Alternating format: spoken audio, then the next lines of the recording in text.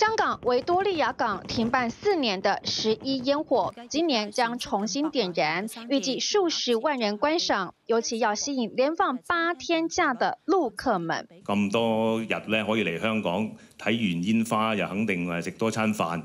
其實上次七一嗰日咧都聽到有啲旅客係因為聽到香港呢個。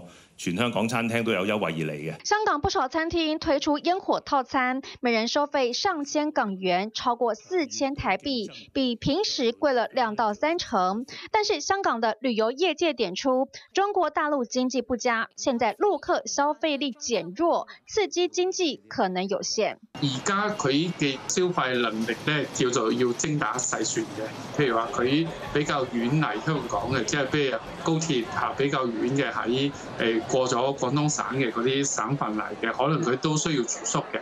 咁但係咧縮短咗嗰個住宿時間，嚇，即係原本兩晚，可能而家一晚。中國大陸自九月二十九號起，中秋加十一黃金周連放八天，出境旅遊潮從二十七號就開始。官方預計兩千一百萬名旅客搭機出遊。日均的話要超過十六點六萬人次日均。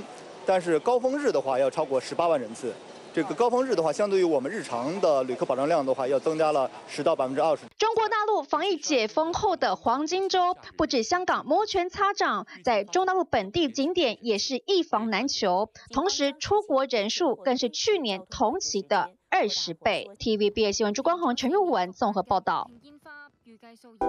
想看最完整的新闻内容，记得下载 TVBS 新闻网 APP。